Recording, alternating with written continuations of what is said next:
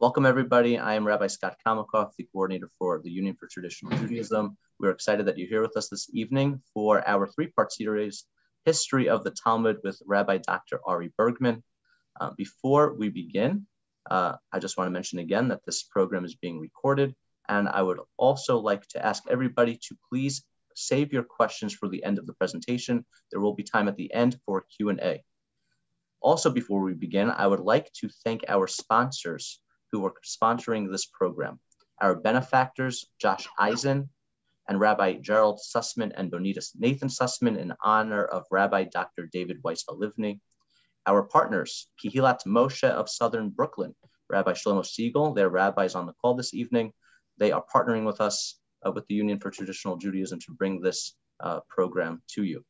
Our supporter, Gabriel Newman, in honor of Rabbi David Weiss Halivni, and our friends Edward Bromberg, Rabbi Kenneth Green in memory of his father, Mordechai Yehuda ben Binyamin, Mitch Morrison, who is sponsoring in honor of Rabbi David Novak and his wonderful teachings and friendship. Mitch Morrison again in honor of Rav Halivni for his courage, resilience, and timeless contributions to Torah. Michael Shavelson, Barry Scher in memory of Arthur J. Zweibel, MD. Karen Rafalowitz, and Bernie Rotman in recognition of UTJ. I am going to share uh, the list of sponsors in the chat. Um, and now I'm going to hand things over to Rabbi Gerald Sussman, the Executive Vice President of UTJ, who's going to introduce tonight's speaker. Thank you. Thank you very much. Uh, tonight is a very special evening because we are honored to have the rarest of people a true Talmid Chacham who is also an accomplished business person, Rabbi Dr. Ari Bergmann. Ari is a frequent lecturer at Yeshiva University and popular scholar in residence at many shuls across the greater New York, New Jersey area. Ari Bergmann is also the founder and managing principal of Penso Advisors, LLC, a New York based global macro and risk management boutique specializing in derivatives, structuring, trading, and systematic risk mitigation.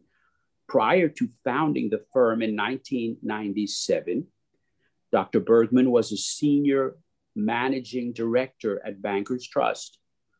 Ari received his bachelor in Talmudic literature from Ner Yisrael Rabbinical College in 1981 and furthered his graduate studies at many prestigious yeshivot in Israel. He holds an MA and PhD in comparative religion from Columbia University, where he studied with professors Joseph Chaim Yerushalmi and David Weiss Halivni, who was also his doctoral advisor.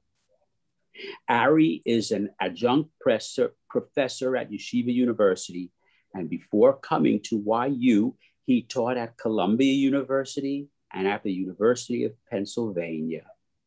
His book, The Formation of the Talmud, Scholarship and Politics, in Yitzchak, in Yitzchak Isaac Halevi's Dorot Harishonim, was just published by De in February 2021.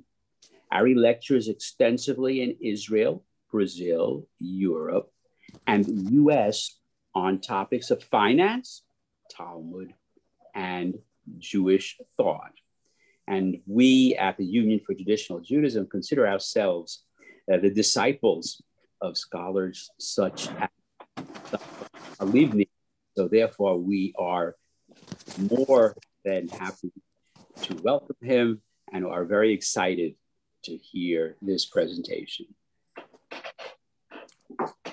Okay, hi, good evening to everybody and welcome. It's a great pleasure to be here tonight with uh, such distinguished audience. And uh, for me, it's very special to be speaking at UTJ because this, uh, this lesson and my whole development study, the Talmud in academic sense, is due to Professor Livni. Shlita. And uh, so tonight's lecture and the whole series is in his honor therefore to somebody that I owe so much. And uh, hopefully you enjoy and make it interesting and exciting And again, at the end of the presentation, you have time to ask questions. I would love to hear your questions, comments, etc. Okay? So we are going to start, as you'll see, the history of the Talmud. And the question is, what's at stake and why should we care? Mean, why, why is it important to know the history of the Talmud? And the reason I'm mentioning is, is because David Weiss Halivni, Professor Halivni, I encountered at Columbia University and was actually by almost chance, right? I was supposed to be studying under Yosef Chaim Yerushalmi. I got accepted to the master's program and Yosef Chaim Yerushalmi was in a sabbatical. And then I saw the Professor Halivni was giving a class, and it was love at the first sight. And Professor, the, the Professor Halivni always believed, and his whole, I think, approach is based how the value of history, of studying the history of the Talmud, has such an important and foundational impact. I actually did my master's with Professor Yerushalmi, and then when the time came for the PhD, I had the choice of doing perhaps one in Jewish history with Yerushalmi or on the Talmud with Professor Halivni, and I chose, and I'm very happy for my choice to do Professor Halivni. And what I decided to focus on is precisely on the Dorot Rishonim, right? The Dorot Rishonim, we, Professor Halivni and I always said, this is Cafe Rimon in Israel, is a street called Dorot Rishonim. we believe this Dorot Harishonim really goes on to uh, Halevi. Yitzchak Isaac Halevi, he was the historian of the Talmud on the traditional sense because he was a huge, great Talmudist who wrote on really he wrote a comprehensive history on the on the formation of the Talmud. And Professor Halivni inspired me to actually write and study his approach. The first class he said, Ari, if you want to know what's going on, because the first time I heard about the Stammaim, I was actually shocked. I'm a regular yeshiva guy, right? Went to yeshiva and this Stammaim where people came like from outer space. So I was really very impressed. And he says, Ari, if you want to really, really appreciate that, you should study the Dorot Rishonim. So Professor Halivni actually inspired me to learn the Dorot Rishonim, and his whole approach was there is very great value in understanding and knowing the history of the Talmud. So tonight we're going to discuss about what's at stake. Why is it so important, history of the Talmud? When did it come about? And that was Professor Halivni saying that, listen, the one of the traditional only traditional voices who really spent and devoted so much time and effort to it is Yitzchak Isaac Halevi, which Professor Livni saw as his quote unquote Baal Machloket, his counterpart, his intellectual counterpart. He always saw himself in a conversation with Rabbi Yitzchak Isaac Halevi. And my dissertation is actually comparing and contrasting these two Bali Plukta, these two people, which is Halevi and Halivni. Their name sounds the same and it's fascinating because their biography, as we'll see next time, is also very similar in some ways.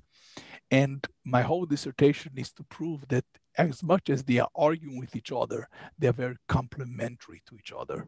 So that's a fascinating story, and we'll discuss that.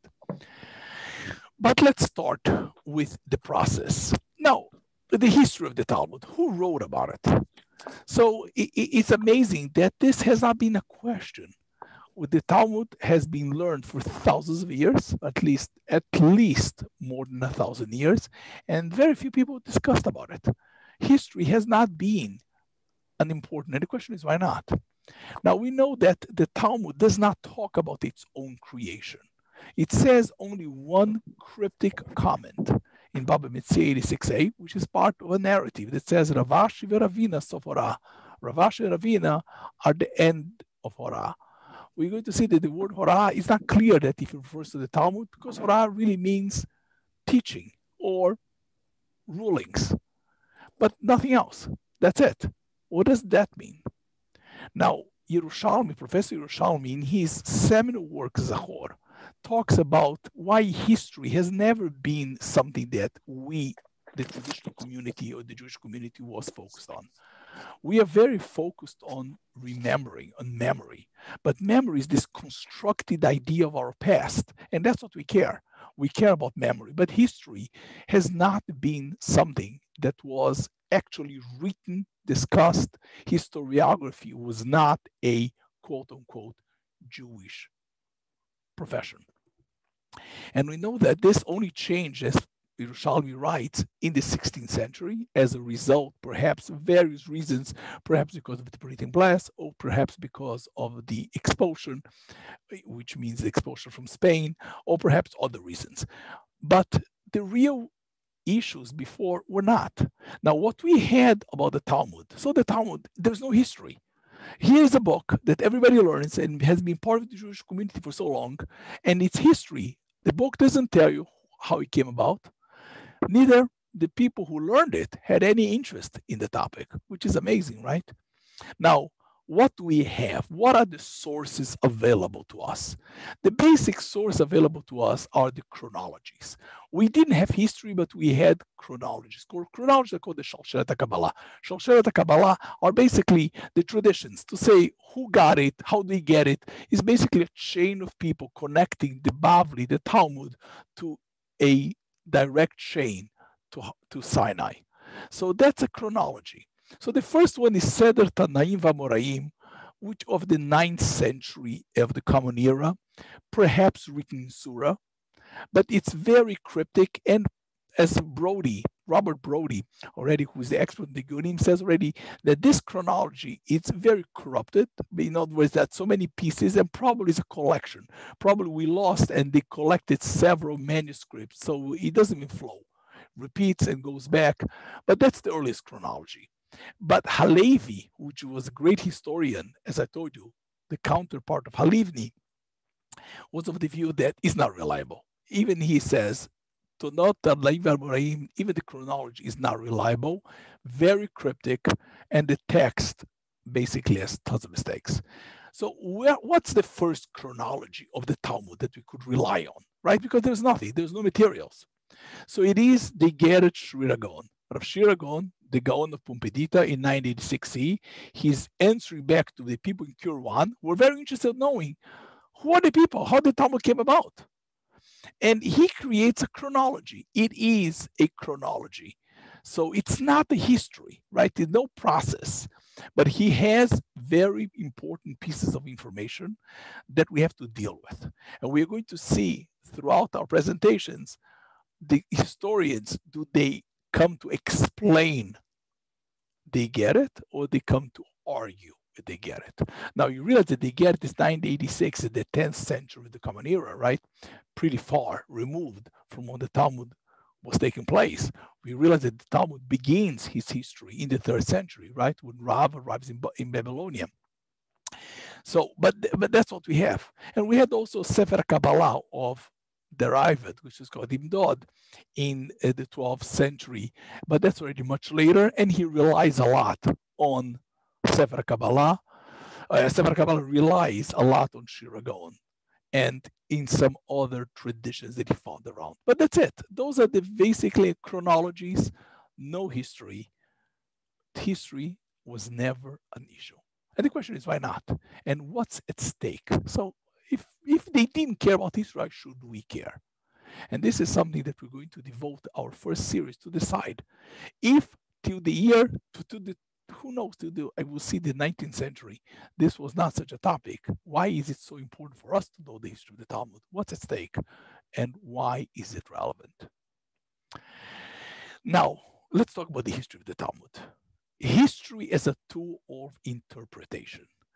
I think that Professor Halivni, what he always inspired in his students, and we have Josh Eisen here, I think is in tonight's audience, is the concept that the history of the Talmud allows you to have the right interpretation. If you understand of the formation of the Talmud, how the Talmud came about, you could understand interpretation. You could understand why some answers are given and many questions that people ask on the Talmud make no sense because if you understand what the Talmud is all about, in other words, the history of the Talmud teaches us what the Talmud is all about. The Talmud is not a book that was written, it's not. It's a work that was formed over a long period of time. I always say this is the first Wikipedia ever in time. Because what's unique about the Talmud? As you will see, the Talmud is a collective book you realize that we are the Halal Kitab, right? Meaning even even the Quran believes that we are the people of the book, of the revelation. But you realize that from the year, from the third century, from when the Rav comes to Babylonia in the year 216, all the way to the end of the eighth century, there were no individual works. There were no individual works. Nothing. We were quiet. It's called the quiet period because the community spoke in a communal voice through the Talmud. And the Talmud, you'll see, comes into that period, which is, we'll see there was a big debate if it was a period of 300 years or 600 years or perhaps 800 years on a communal voice. So if you understand the process, you can understand the book is. And then interpretation makes sense. You cannot give interpretation to a book if you don't know what the book is all about. And the book is all about is only a process of how it was formed. You can't understand. It's not a work that was written. And the projection that we have, it's a mistake. So Halivni is the one who says we can create interpretation and meaning through history.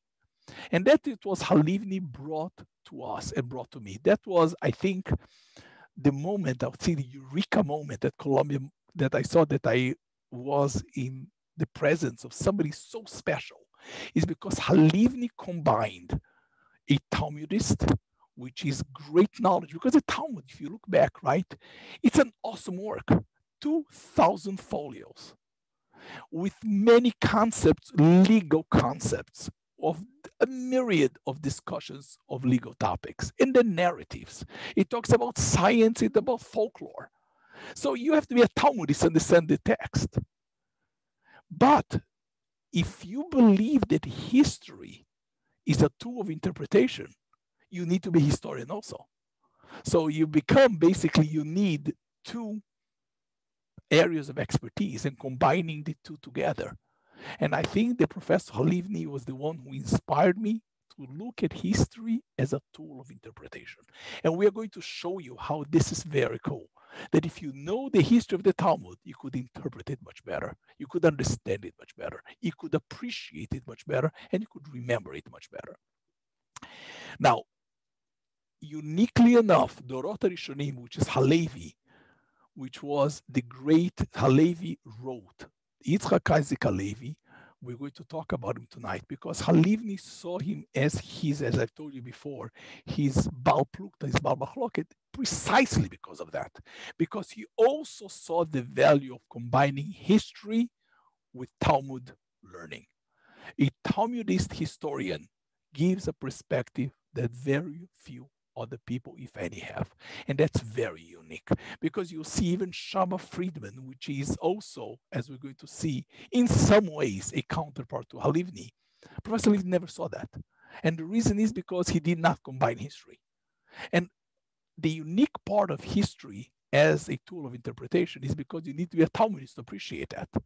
So all the historians, Jewish historians, are many times not equipped and that's what I say in my book. If you look at Graetz, at Hirsch Weiss, and all of these people, they're great historians, at least in the beginning, Sal Baron, but they could not really add much value because they're no Talmudists. On the other side, you have great Talmudists on the traditional sense. We all know that, but even the academic sense, Shamma Friedman and his school, which are terrific. But they were not historians. So Professor Livni combined. So I think that's the first thing of tonight. And now the reason why that's important is because when you read a text, you have to know how you explain. We know that in constitutional interpretation, we have various approach. We have something called original intent, that when you interpret the Constitution, we interpret any document, you have to go to the head of the people who wrote. What did they mean? What was their original intent? For that, you clearly need to have history because otherwise you don't know who they are. How the heck are you going to think what they know if you don't know who they are? And even if you are a Scalian of Scalia and you hold that the way to interpret text is through originalism, it's not what the framers of the Constitution thought, but how people read the text at that time. In other words, it's not function of the intent of the writer, but the intent of the reader. Originalism. We know that our Supreme Court right? The conservatives are big fans of originalism. Again, you need to know what is this document, how it came about, who were the first readers of it. And even if you hold a living constitution that is a living document that gets reinterpreted, you still need to know history to know what is document. So history makes sense as interpretation. And if you look at how today we interpret the US Constitution, right, no matter the schools of interpretation, original intent on one extreme or living constitution on the other extreme, the history of the document is so important. So history as a tool of interpretation is not only Halivni's approach, which is something in our schools of academic interpretation, which is constitutional interpretation, history has a role. If it's original intent, it is funda- fundamental. If it's originalism, is also extremely important. But even on the living constitution, theory and doctrine, that's also important. And that's why we, by knowing history, you're going to see that you'll be able to appreciate how the Talmud combines uniquely tradition and innovation, tradition and creativity. You're going to see how the Talmud, because it evolved, once you understand the history of the Talmud and the dynamics of it, we can appreciate how the Talmud juggles and balances between tradition and innovation, tradition and creativity. So history, besides allowing for interpretation, also allows us to create a very, I think, deep understanding of how tradition and innovation were balanced over hundreds of years. Because you realize right once you understand the history of the process you realize that it's not linear. It's all as i told you the wikipedia is a great example for such a thing. It's an organic document that developed for so much time. Then you could balance tradition and innovation. Now this is the importance of history and that's i think what professor Livni brought to us. But on the community as a whole history became an important tool for the community basically in the 19th century. We know that history came into the universities brought by Leopold Ranke. Leopold Ranke was the Wissenschaft, the scientific study of history, and that penetrated universities, and that became part of the Wissenschaft of Judentums, meaning they became part of the science of Judaism, that became a very much an area of interest. So in the 19th century, history becomes very important in the Jewish community because it becomes a tool of a non rabbinic approach to Judaism. That's number one. And number two, as you'll see, Geiger and a lot of the reformers to try to use history to basically allow for the reformation of Judaism. So history becomes, I told you, in the beginning, the first step is history is very important. But history became a topic. We know that history before the 19th century didn't exist, didn't make sense to the community. As much as Professor Livni just told you that history is important to understand the text, to give you interpretation. History was not a topic in the world community. People did not see this as a science until the 19th century. In the 19th century, Leopold Ranke in Germany introduces to the universities and the community adopts it. And that was adopted again as the science of Judaism, but was also adopted as a way of with an agenda. And then becomes the issue of history becomes very contentious because they struggle against reform. So if you look at Halevi in the Dorot Rishonim, is the history of Judaism in defense of traditionalism, which in itself is a different story. So history, as important as it is, became very relevant in the 19th century, but became very controversial because it was used as a tool to basically challenge the traditional view. So you see that as much as history was important, and in the 19th century becomes real, there was naturally great opposition. We all know that Reb Shimshon Hirsch in Frankfurt said history doesn't apply to Jews. We live in a meta history. So it took time for history to, because he saw that history was just an attempt to undermine tradition. The world evolved in the 19th century, and Dorot Rishonim was the book that said, no, no, history is great, is valuable, it's important, and does not need to undermine traditional Jewry. So the first attempt to really take history that finally was entering the community and use it as a tool of interpretation is Dorot Rishonim, who was a great Talmudist and at the same time a historian. So this idea of the importance of history never was relevant before the 19th century, became very controversial. And the Dorot Rishonim was the first one who said, you know something, it's very accepted, acceptable, doesn't have to have an agenda of reforming or discarding the Talmud. That's not it. And you could use it as a tool of interpretation. That's why Professor Livni always saw the Dorot Rishonim as a counterpart to it. Now, what are the issues? When you go into the history of the Talmud, I thought it's very important to understand the document. But more than that is also important not only the history, and that's the before the slides that you just saw. History tells you what the document is to appreciate interpretation and to appreciate how the Talmud juggles between tradition and innovation. But there's another issue. What's the authority of the Talmud? Why is the Talmud authoritative? What is supreme about the Talmud that makes it the supreme work? And the big issue is the history of the Talmud allows you to appreciate what's the authority of the Talmud. Is the Talmud a tops down authority or is it a bottoms up? In other words, is the Talmud promulgated or is the, or is the Talmud a natural, organic kind of a book? That it came out. It's an emergent work. I think that this is so important to understand the history of the Talmud because it allows a person to appreciate the authority of the Talmud. And let me explain to you what the issue is. We know that the Rambam, right, Maimonides, in Perek Beit, in the second Perek of Ilchum says the following, that a one of the Yud Gimel Midot, one of the ways of the exegetical tools of creating drashot, technically any subsequent court can challenge an earlier interpretation. And it doesn't have to be bigger. The Pasuk says, you should go to the judge of that time, which means that it could evolve. You could have somebody arguing and uh, moving on. So the Mishnah says, why can't we argue the Talmud? Why don't you can't argue the Talmud? And we know that the Talmud says that the Amoraim cannot argue the Tanaim. The Talmud has to go through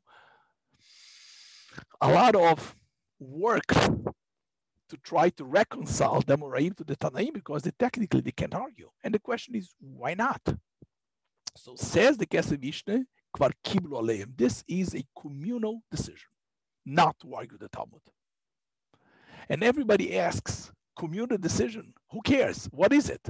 It's a neder. What is it exactly? And this becomes very important to understand the authority of the Talmud, the supreme authority. How does it come? And it's important to understand the history of the Talmud.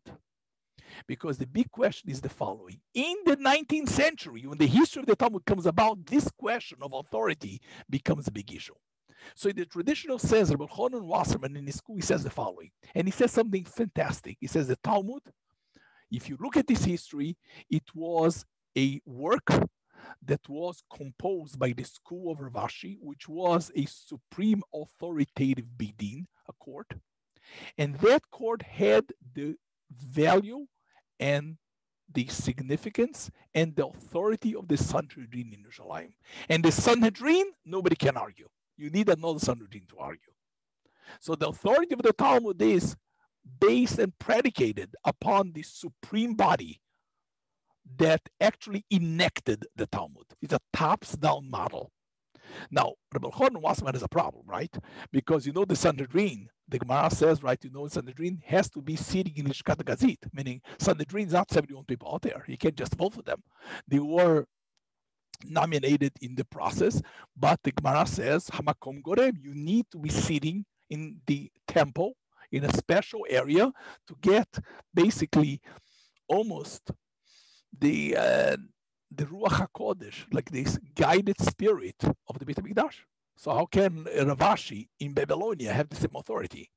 So he comes out to this idea. He says the only reason you needed to have the people sitting in Jerusalem in the temple is because there were only a court of 71 people. But if you have a court that basically represents the Jewish rabbinical establishment that creates this collective voice, it has the importance and the authority of the Sanhedrin no matter where they are. they become like the real Sanhedrin. In other words, the only reason you need 70, you need the only reason you need to be in the Beit HaMikdash because it's 71. But the Bavli, the beauty is Rav Ashi, includes all the sages. He was the representation is he got all the sages of his time. That's why Maimonides, in his introduction to the Mishneh Torah, says that was a unique situation The Babylonia basically collected all the rabbis together. But it's predicated upon the Bavli being promulgated. Now, this issue, it's a very important function of the history of the Talmud. Was the Talmud ever convened by a assembly of rabbis? Halevi, in his Dorot Rishonim, as a historian, he tries to prove from the text and from history. That's my book that I just published, which we're going to discuss in the third class. He says, yes, I can show you that there was such a conclave of rabbis. The history of the Talmud is that there was a group of rabbis that represented the entire rabbinic institution from Babylonia and from Palestine. And Rav Ashi was powerful enough to gather such a body and they promulgated. It's a top-down model. The history of the Talmud then becomes critical because you have to prove that such a thing took place. Otherwise, what's authority? So now the history is not only a tool of interpretation. In the 19th century, history became also a tool of authority of the Bavli.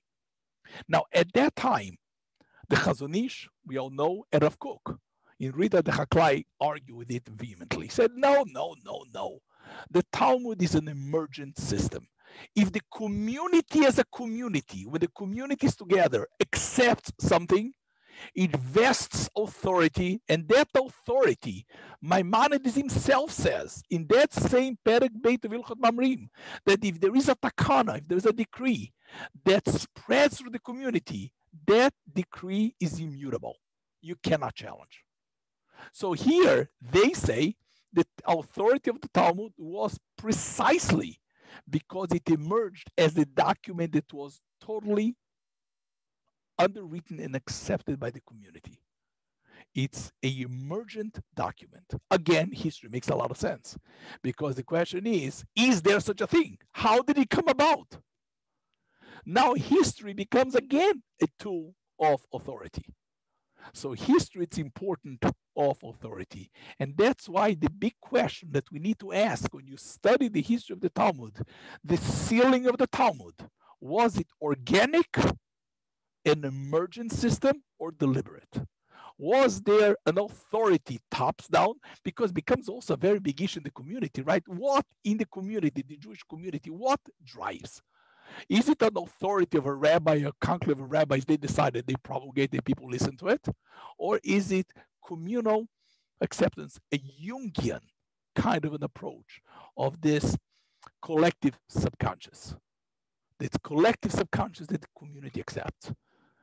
The history of the Talmud becomes extremely important to understand authority, the authority of the Bavli, and how things gain authority throughout generations. So what we come out is the history has number one, authority. Number two, roles of interpretation, right? The role of interpretation, how to interpret, how Talmud was interpreted. History is paramount. The combination between a Talmudist and historian to allow the Talmud to be understood and appreciated and explained. But not only that, how to view the authority of the Talmud, which is the work of rabbinic Judaism. Now, Halivni was not the first one who came up with this. The first one who came up this combination, these two issues, right, that become center focus, is two works that I know that realized the importance and the issue and the significance of history. The first one is Dorot Rishonim by Yitzchak Azik Halevi. As you know, as I explained to you, in the 19th century, there was a resurgence of Jewish history because of Leopold Ranke. Henry Graetz, The History of the Jews, was the first work and was extremely popular, right? Extremely popular in yeshivot.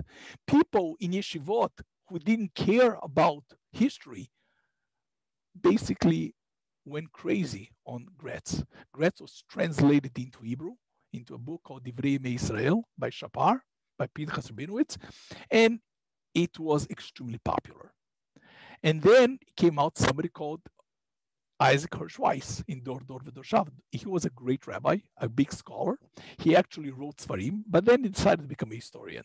And he writes the history of the rabbis, Dor Dor V'Dorshav. Became super popular, six editions. But Dor Dor V'Dorshav had an extra grind. And he, again, does not combine the two. They were focused on history. They never came to go ahead and combine the two. Now, at the time, there was the Volozhin Yeshiva, the very well-known yeshiva, and Reb Chaim Brisker, everybody knows Reb Chaim Brisker, is the creator and the founder of the analytical model. Reb Chaim Brisker's best friend, probably, was Yitzchak Isaac Halevi. So he was really lamdan, a real Talmudist, right? He was from Volozhin. He was the Gabbai of Volozhin. He was Reb Chaim Brisker's great friend. So he was a Talmudist with every credential possible. He actually wrote a great book.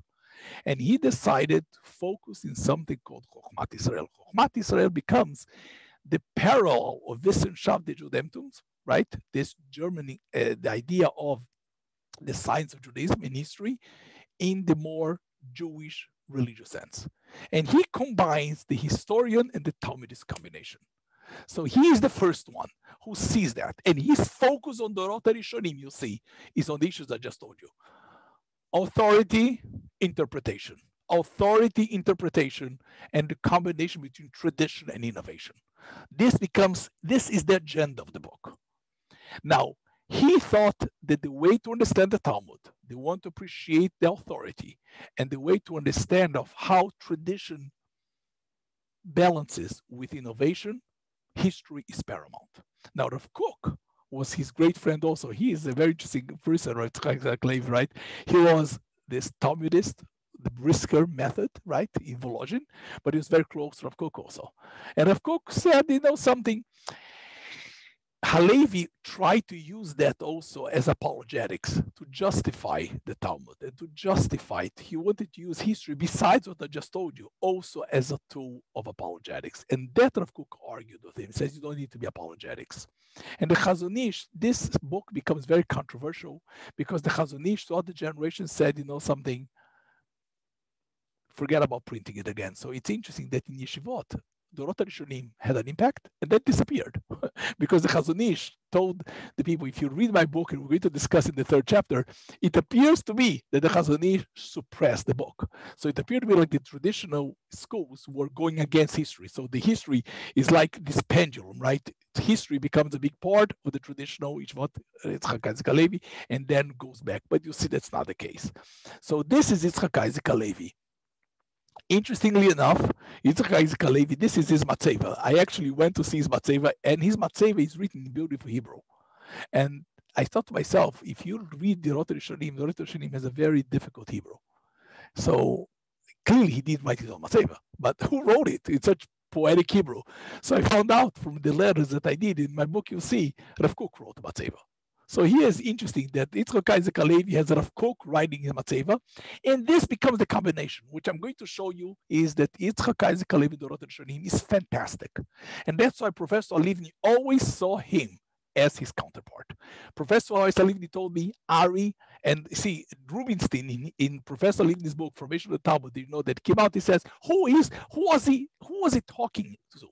Who was his counterpart? Only Halevi. So Halevi and Halivni are the two who combine these things, and that's so unique, people. And you see that appears to be that the Chazon Ish was against it, and I'm going to show you in my book. I show you. I'm going to talk about the third series. That's not true. I think the Chazon Ish also and Rav Kook both agreed that history helps you in the issues I just told you. You cannot appreciate and understand the Talmud. You cannot explain it right. You cannot understand its authority. You cannot understand the dynamics between tradition, innovation, and creativity unless you know the history. And I don't think the Chazon Ish argued with that. We are going to discuss about that in detail on the third class. But what I want to show you something very fascinating in these last couple of minutes the history of the Talmud also becomes a tool of politics. I just told you, it's cool that history helps you understand the Talmud, appreciate the Talmud, levels of authority, and tradition and innovation. But it becomes a political tool. The history of the Talmud creates a political tool that actually Rabbi Yitzchok Halevi in Dorot Rishonim, not only he was a Talmudist and historian, he became a politician. He is the founder and the creator of Agudat Israel. And Agudat Israel, it's his idea, and it's all based on the history of the Talmud. So the history of the Talmud becomes a political document. So you realize that combining the history of the Talmud not only gives you authority, interpretation, but gives you a level of a political manifesto. And look at what he did, right? Halevi goes with Rosenheim. Rosenheim is the founder of the Aguda. They create in Bad Homburg a idea of collecting the rabbis, of creating a unified Orthodox political party, right? In Katowice is the first of the meeting when the Aguda was established. And they create something called the Muetzet Gdolei Torah. Everybody heard the Council of the Torah Sages. That the Council of the Torah Sages has this political, this idea of creating, establishing policies. You know, in Israel, right? You see that if you look at Israel, right, the Muetzet Gdolei Torah, and everybody listens to this, where did he get this idea? No question, he saw it in the history of the Talmud. Halevi envisioned the Talmud to, as you'll see discuss, to be a top-down authority. Rav Ashi creates this conclave of rabbis. So he realizes that this conclave of rabbis created the Talmud. So this is a body that can create law and can create dictum, dicta, and etc.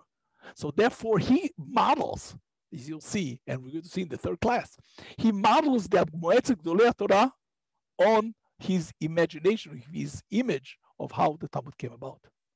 And you realize that Rab Chaim Brisker, he was a real Brisker. Rab Chaim Brisker was his good friend, and he wrote 18 points. He says he argued with Gdolei Torah on 18 points. Nobody knows what the 18 points are, but Rav Moshe Soloveitchik says perhaps that. The idea of having a central rabbinic body that creates law and promulgates law, they were against it. Again, it's all revolving on the Talmud. Was the Talmud promulgated? So you realize that this argument that we're going to see in the history of the Talmud, how the Talmud came about, organic or top down, deliberate or emerging, will make a difference in the politics. Do you have such a thing called Muetzet Torah, which runs today the Degel? You know that all of these parties are run by this right?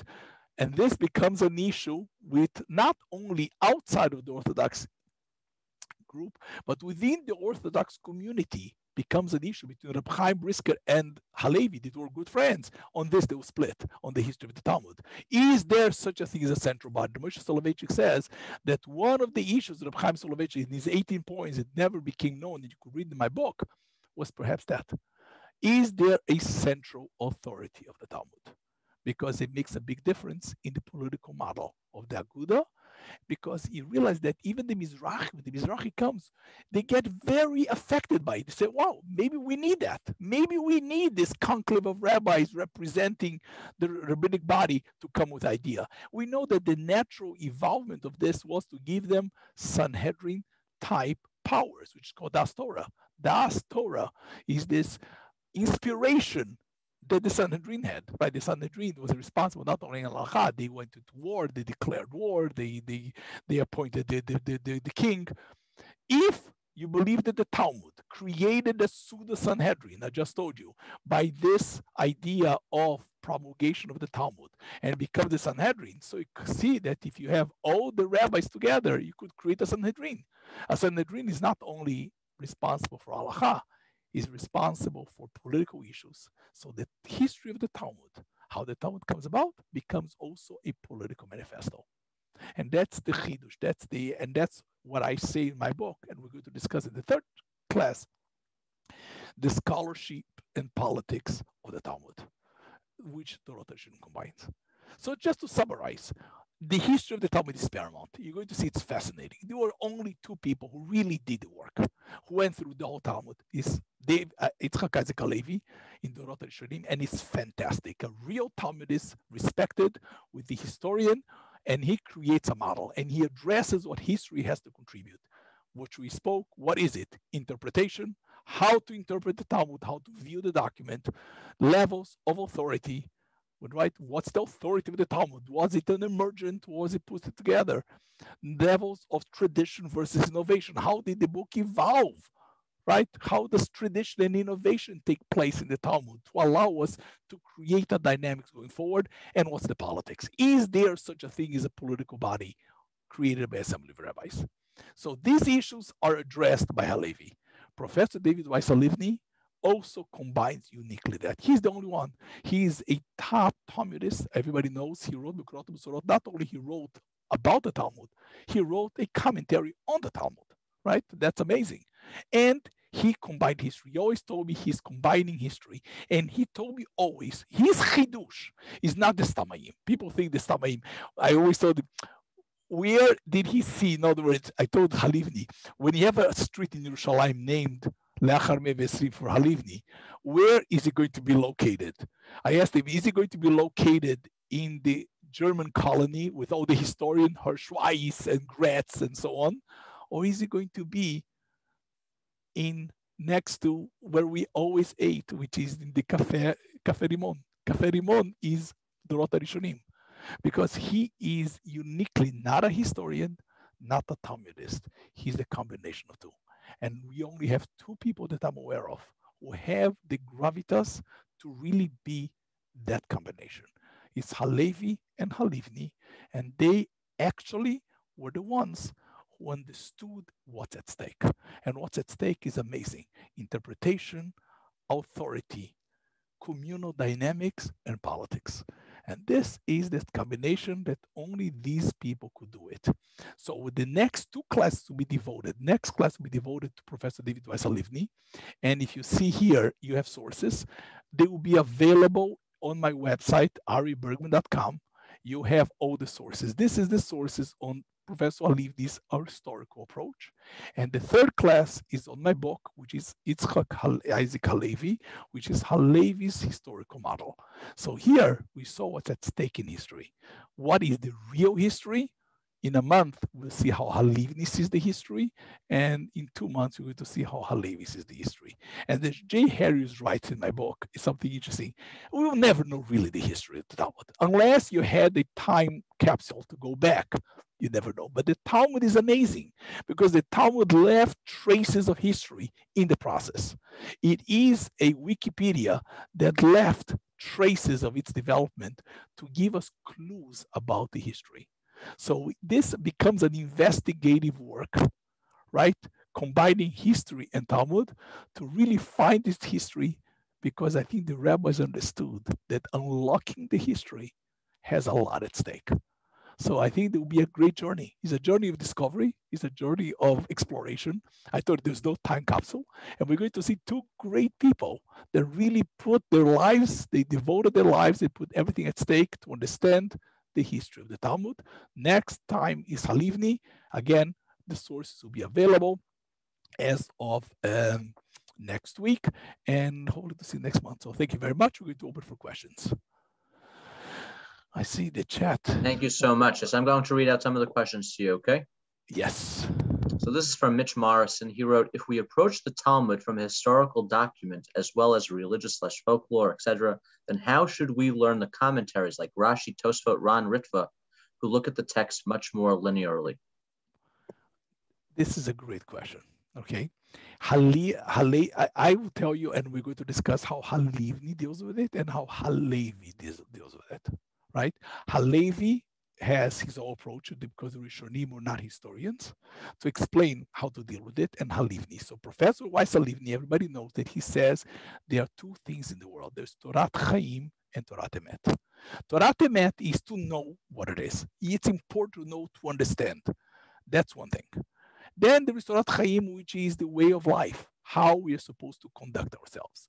So the Talmud is a way of life. It was basically saw as a unitary linear kind of an idea without a diachronic development. That's Torat Chaim, but Torat Emet is different. Halevi has another approach. We're going to learn it in the third class, and I have my own approach. I think that is amazing. I think that the Rishonim actually were aware of it. It is not true that they were not aware. They never spoke about it because they understood it, not cognitively, not consciously but subconsciously. But subconsciously it's all there. I'm going to show you. It, it's so interesting. If you understand, you'll see that they suddenly, and the one who was the most, and I give a class at YU on that, is the Rambam. The Rambam clearly addresses all of these issues because the Rambam, that's why the Rambam starts Mishneh Torah with a whole idea that it goes to the historical development, right? That the Talmud was done in Babylonia when the community was unified, and then the community spread out. And in the Geonim, they didn't have the authority because they were splintered all over the place. Why does it do that? You're going to see it's fascinating. So I think that the Halivni has one approach. I just told Torah Torah Chaim. We're going to see Halevi, how he has, and I'll tell you that many Rishonim were very aware.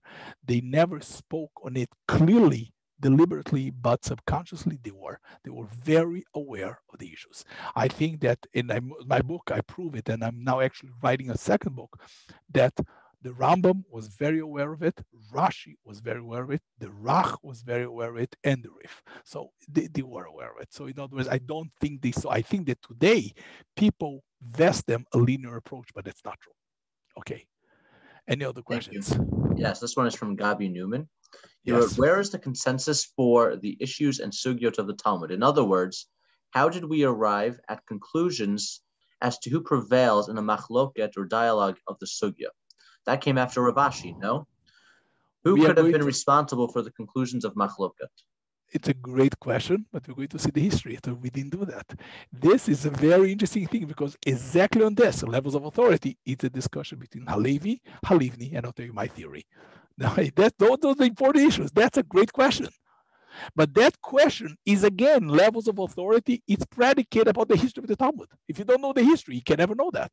But if you see the models of Halivni, he'll give you. We're going to learn it next in next month, and then we're going to learn how Halevi deals with it, the two historians. And if I have time, I'll tell you how I think. And uh, I have a very cool way of looking at it. But that's extremely important. That question will be addressed, needs to be addressed, and only history can address. Wonderful. Are there any other questions? Please feel free to unmute yourself or write in the chat. Anybody, any questions? Any comments?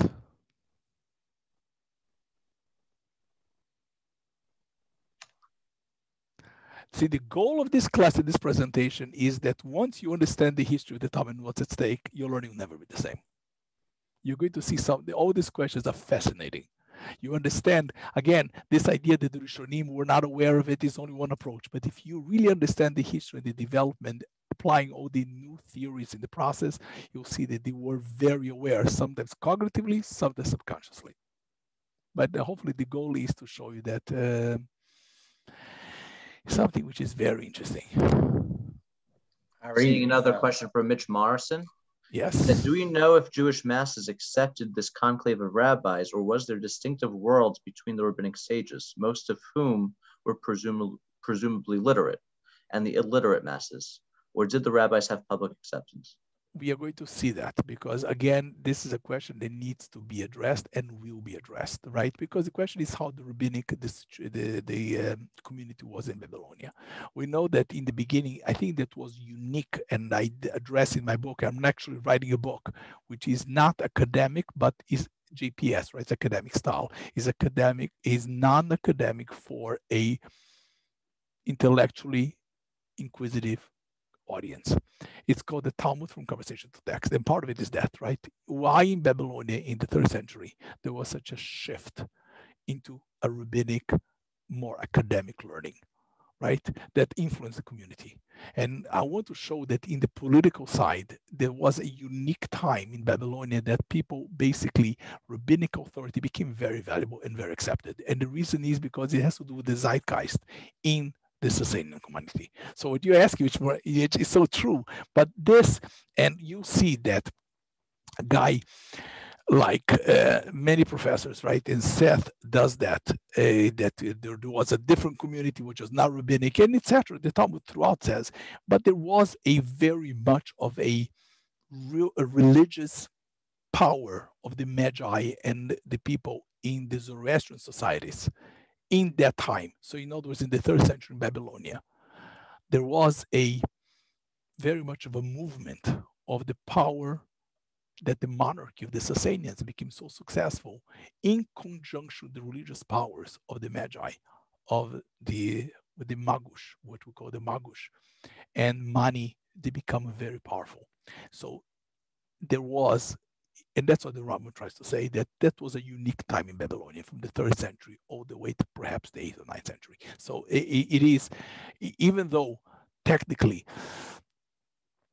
technically it didn't have to be this way, but I think, at least my impression, that if you study the influence of the general society, there was a very unique time in Babylonian, perhaps unique from ever. Now, doesn't matter that, doesn't mean that everybody was rabbinic. Of Mahuza, there were so many cities that they were quote unquote independent thinkers. But no, but the vast majority, because the society there was this way the clergy had huge power within the Sasanian movement. And clearly that has an impact on the Jewish community. We have one more question. This is going to be the last. This is going to be the last question for the evening from Avi Green. Why is there no English translation of Dorot HaRishonim? And also, why assume a single conclave instead of a number of them in various generations? Excellent question, Avi. Number one, there's no translation because the book in Hebrew, nobody know about it. And the reason is threefold. Number one, we're going to discuss because the Chazon Ish technically gave at least, and we will talk in my book, we're going to discuss it together. He gave at least, he told the children not to reprint the book. So the book has not, was not reprinted. You can almost find in Hebrew. So the Chazon Ish told not to reprint the book. We're going to talk why. Okay, so that's number one. So the religious, so it, the book felt for the Orthodox, he the book was suppressed, and for the non-traditionalists, thought the book was only apologetics. So therefore, there's no translation because the Hebrew was not there. Number two, the book is very difficult. It's written in a very difficult Hebrew and it contradicts itself. It is a lot of work. It's a lot of work to understand what it says in Hebrew, and I don't think people understand it. Imagine to translate it makes it almost impossible. And number three, the structure of the book doesn't even lend itself to translate. So people adopted the book. The book was adopted by people, but in many ways, right or wrong. So the adaptations are translated. Let's say ArtScroll just put out the a book on the um, introduction to the Talmud. It's based on their understanding of the Dorot HaRishonim, but I read my book. They have many misunderstandings that they are basing themselves. So second-hand derivative books in English on the Dorot HaRishonim, many out there. ArtScroll's Introduction to the Talmud, Hyman's Todot HaNevi'im I can list you many. So many of the traditional Jewish sources, including including many of the quote unquote historians on the traditional community, they rely on the Dorot HaRishonim, but the Dorot HaRishonim in a very superficial way. So that's why. And now, why a single conclave? Because for it to be authoritative, it had to include all the rabbis of the generation. And for that, you need a historic person to do that. Rav Ashi is the only one who had the gravitas because of his longevity, because of his power, because he was a very rich person. He was very close to as we know, to the Sasanians. The Sasanians allowed him to do it. And Halevi, Halevi is a genius because he's able to prove from the Talmudic text that Rav Ashi did such work. So technically, it could have been. And we're going to see that Halevi allows for the court of Rav Ashi to extend for a period of time. But the only person had the gravitas to do that was Rav Ashi, who could put all the rabbis together, imagine. Number two, he had the clout to do that. He lived long enough to do that. And most important, Halevi is able to find your traits. That Talmud doesn't tell his history. You have to do investigative work. The only one who was able to find such traces and very cleverly is Rav Ashi. Could it technically be more generations? The answer is yes, but very difficult because we just don't see that. Okay, so even Halevi would have to agree to that. They, we don't see that. So that that that's why. And we're going to see that even Halevi agrees that the, the, the court of Rav Ashi had to extend beyond his death. Otherwise, the chronology doesn't work. So even though it was one court, but it extended over multiple lifetimes. That's how Halevi is going to say. So if you have the conclave, it has to be authoritative enough. And all the Rishonim, we know that, they always give to Rav Ashi. They took Rav Ashi as the quote unquote, the pedigree of the Talmud Rav Ashi. Rambam in the beginning of Mishneh Torah. Uh, Rashi says all over Rav Ashi, the Rosh. And the question is what Rav Ashi did. So Rav Ashi had this aura as giving the authority, the pedigree to the Talmud, because he, he was strong enough, big enough, accepted enough, long enough with the cloud. So that's why. Technically, could be more, but just nobody could do. Halevy, Halevy right, the, the Hashgacha, the God wanted one person to do that. That people basically that he was accepted by everybody, and that's also unique. That's why why there was never a Talmud again. Try to put everybody together. So only person was able to do that was Rav Ashi. Okay, thank you very much. A great night to everybody. Hopefully you'll be able to, from next week on, you'll be able to download the sources from aribergman.com. And uh, I hope to see everybody back in a month from now. Yes, thank you so much, everybody, for being here. I just want to mention that if you registered for the first uh, class, then you're registered for all of them. So we're going to send out a reminder email with the Zoom link a few days before the next class on July 13th, same time. I'm going to send the link, the registration link, in the chat for those of you who want to share that with your friends or family who might be interested in the event. And again, before we close, I just want to share in the chat, again, a thank you to our sponsors of this program. Thank you so much for being with us this evening. And thank you, Rabbi Dr. Ari Bergmann, for a really fantastic share. My pleasure. Thank you very much. Thank you so much. Thank you, everybody. Bye. Bye bye.